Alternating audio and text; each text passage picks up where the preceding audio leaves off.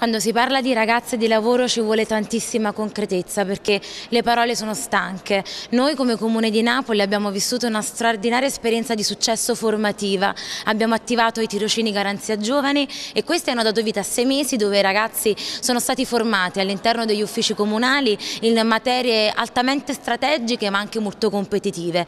Ed ora abbiamo dato vita ad un Career Day, un incontro con aziende del territorio, più di 15 realtà territoriali hanno risposto ed ed oggi stanno incontrando i nostri tirocinanti affinché quell'esperienza formativa ora non sia messa e chiusa in un cassetto ma possa diventare un'occasione concreta di lavoro.